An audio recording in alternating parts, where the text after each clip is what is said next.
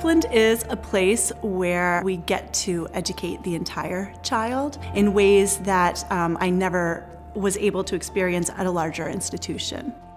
The music program here is great because we get to see each child twice a week, regardless of the uh, age. We start with the youngest ones by just really having them experience music, explore the art form using their voices, using their bodies and movements through listening to all different types of music from all parts of the world and time periods as well. Then branch into using all of those same things, but we take it one step further with the older kids by implementing a music literacy program where they're beginning to learn how to read and write musical notation. We use a lot of different instruments at all levels, and if any student plays an instrument at home or takes lessons outside of school, then they are welcome to to bring that in and we try to find ways to incorporate that instrument into our performances.